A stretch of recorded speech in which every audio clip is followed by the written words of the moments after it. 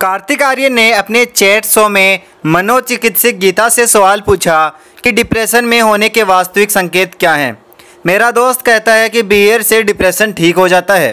क्या शराब डिप्रेशन के लिए एक वास्तविक इलाज है? क्या डिप्रेशन और आत्महत्या सहज संबंधित हैं? कार्तिक आर्य ने इन सवालों को न केवल अपनी समझ के लिए बल्कि यह सुनिश्चित करने के लिए भी पूछा कि जो दर्शक इसे देख रहे हैं, वो इसके बारे में जागरूक हो सकें। इन सभी सवालों के जवाब डॉक्टर गीता ने कहा कि लोग डिप्रेशन के लक्षण अन्य बीमारियों की तरह ही होते हैं।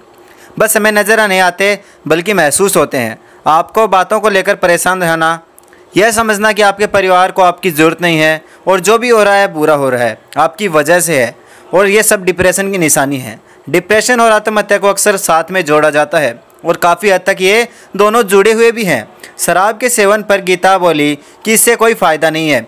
आपके शराब पीने या ड्रग्स लेने से आपकी बीमारी और ख़राब होती है।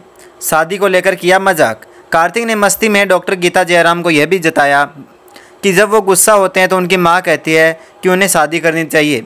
उन्होंने पूछा कि क्या ये सही है? तो डॉक्टर गीता हँसते हुए कहा कि हम भारतीयों को ऐसा लगता है कि शादी हर बात का इलाज है, लेकिन ऐसा नहीं है।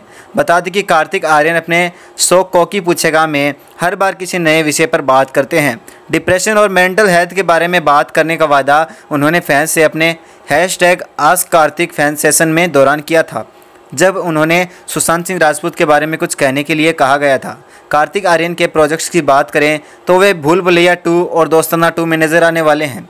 इन फ़िल्मों की शूटिंग कब शुरू होगी, इसके बारे में कोई जानकारी सामने नहीं आई है। तो दोस्तों, आपको क्या लगता है इसमें क्या बियर पीने से डिप्रेशन ठीक होता है? तो हमें कमेंट करके अपनी राय ज़रूर दें। और साथ ही साथ वीडियो पसंद आई हो तो वीडियो को लाइक करें और चैनल को सब्सक्राइब करें। धन्यवाद।